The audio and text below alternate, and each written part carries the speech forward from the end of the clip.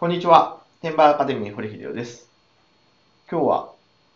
Amazon でなぜつまらないものが高く売れるのか、これについてお話しします。まあ先ほど買い物をしたんですけどね、これ、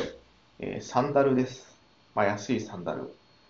まあ、16.99US ドルで買って、送料が24.43、えー US ドル。まあ結構ね、えー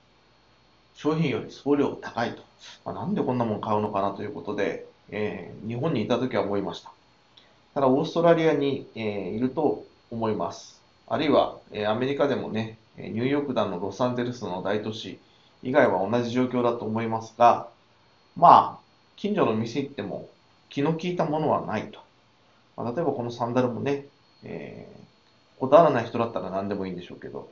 私の娘はこだわる人なもんですから、まあ、色とか紐の数とかうんぬんとか言うとですね、えーオーストラリアで売ってるものだと気に入らないと。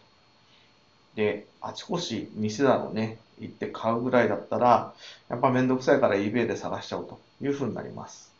まあ、これがね、えー Amazon があればもっと便利なんですけど、オーストラリアには残念ながら Amazon がないと。まあ、アメリカは Amazon があるわけですから、まあ、だからこそ、100円ショップで買ってきたものをね、20ドルで売れたりとかいうのは多分同じ理由だと思います。似たようなものはあるけど気が利いてないとかね、友達が使ってたかテレビで見たの欲しいけど、どこで売ってんのかわかんないから買うのめんどくさいとか、そういうので、まあ、大体、まあ、そうですね、5000円以下のもんだったら、まあ、探すのめんどくさいから、まあ、高いけどいいやって言って買う人が結構います。だからもう本当にこういうの誰が買うんだろうなとかって考えずにですね、まあ、売れたら面白いなと、ね、物安いし、売れてる形跡あるから、え買って入れてみようというので、どんどん商品を入れてみるのがおすすめです。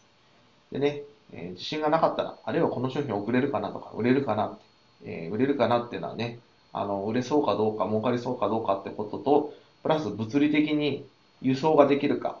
あるいは FBA で販売可能か、そういうのはね、悩まずにどんどんこれどうですかってことでご相談ください。えー本当に案ずるより売るが安いですね。こんなの売れるんだって商品で結構当てて儲けてる方、えー続々出てます。これね、えー先入観持って、こんなの日本じゃ買う人いないしっていうのでね、えーどんなものでもね、あの、大都市行けば買えるし、通販で頼めばすぐ、えー注文したものと同じものがすぐ届くと。で、通販やってるね、あるいはヤフオクやってる人が、えーすごくたくさんいる日本とは、えー海外、特にアメリカ、えーオーストラリア、えー状況が違います。どんなものが売れるか、ね、売ってみないとわからないんで、えーどんどん試してみることをお勧めします。以上、天馬アカデミー、堀秀夫でした。